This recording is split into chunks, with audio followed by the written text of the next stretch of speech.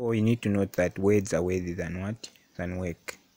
So if you're given a question which is like this always you need to note this so that you can be able to list your what?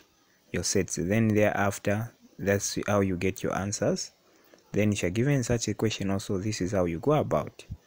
Then also when you have that symbol always remember this. This is how you go about. Please don't forget to subscribe. Subscribe so that you can receive the full answers.